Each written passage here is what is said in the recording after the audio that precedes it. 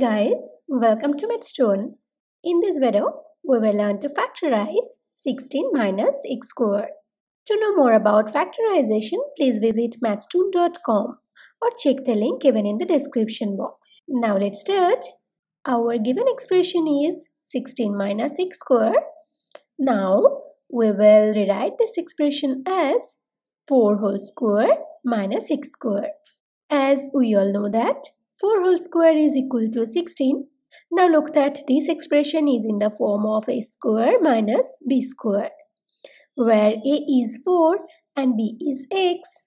So we will apply the formula of a square minus b square in this expression now. Applying that we get 4 square minus x square is equal to 4 minus x times 4 plus x.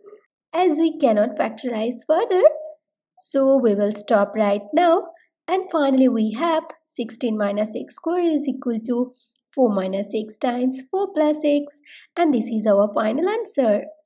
Thank you for watching. Please like and share this video if you find it useful. Leave a comment in the comment box. Do not forget to subscribe this channel. Please hit the bell icon to get notification of new videos earlier.